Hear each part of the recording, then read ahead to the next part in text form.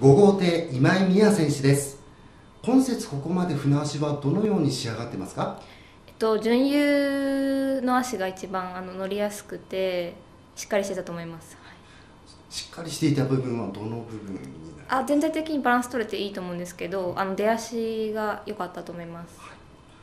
明日の作業は何か考えていらっしゃいますか？そうですね。プロペラの調整ですかね。はい明日は5号艇でのレースになりますが何かレースイメージはありますか？